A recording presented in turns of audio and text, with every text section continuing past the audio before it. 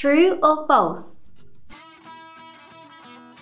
The UV index is a 10 point scale that sunscreen lotion manufacturers devised in the 1970s to encourage people to buy their product.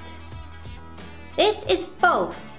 The UV index, developed by the National Weather Service and the US Environmental Protection Agency in 1994, estimates solar UV radiation risk on a numerical scale ranging from 1, which is low risk, to 11 plus, which is extreme risk.